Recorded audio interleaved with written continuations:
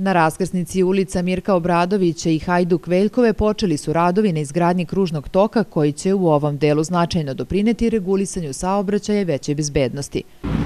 Kao što vidite iza mene, raskrsnica Hajduk Veljkove ulice i ulice Mirka Obradovića zatvorena je za saobraćaj zbog izgradnje kružnog toka. E, ovi radovi će biti gotovi verovatno do kraja meseca, tako bar nadležni najavljuju.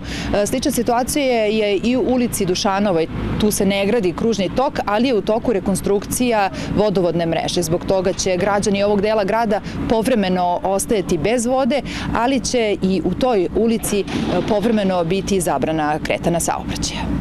U prekidu saobraćaj ulici Mirka Obradovića od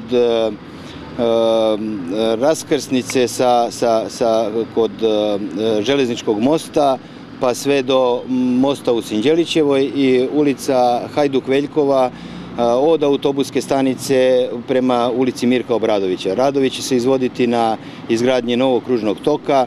Ovaj, izvođač radova je Ingra Pomni iz Beograda. Vrednost radova je 6 miliona i 700 hiljada dinara. Rok za izvođenje radova je 30 dana.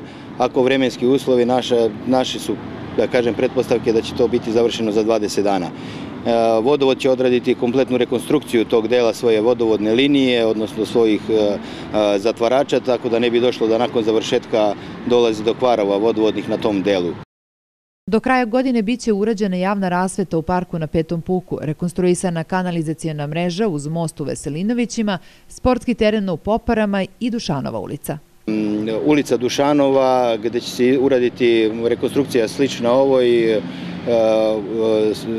znači za mene javne rasvete, tu smo i dobili donaciju svetiljki koje će biti u LED tehnologiji i kontrolisat će se daljinski, odnosno sa tom ulicom ćemo probati da dođemo do podataka koliko, će, koliko može na LED rasveti da se uštedi uh, ovaj, uh, u odnosu na, na klasičnu javnu rasvetu. E, ulica se rekonstruiše u dužini od 320 metara, to je otprilike od duplih traka, odnosno od ulice Vladike Nikolaja do prodavnice Europroma, to je nekih 320 metara, ugovorena vrednost je 11 miliona dinara, javna rasveta i građevinski radovi na kolovozu, tako da nas očekuju ova naredna dva meseca zaista dosta radova, molimo građanja za strpljenje, da, da, da budu jednostavno strpljivi, jer mi smo ove godine zaista dosta toga u centru grada radili.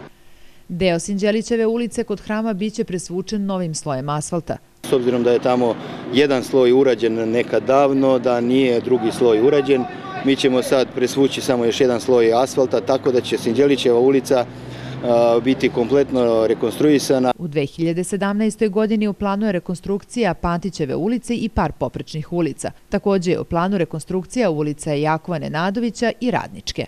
Program ćemo raditi u 12.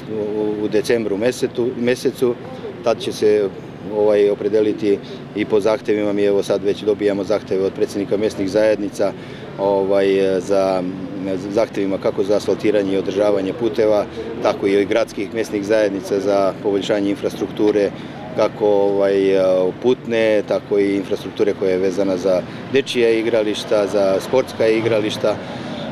Vidjet ćemo koliko para bude bilo u narednoj godini, mi ćemo tako i napraviti program i realizovati nadamo. Do kraja godine na Divčibarama biće gotova javna rasveta u Valjevskoj ulici koju će finansirati preduzeće za puteve Srbije. Ulica Majora Ilića, deo raskrsnice Radničke i Knez Miloševe ulice, prema obećanjima preduzeća za puteve Srbije, biće završene do kraja 2016.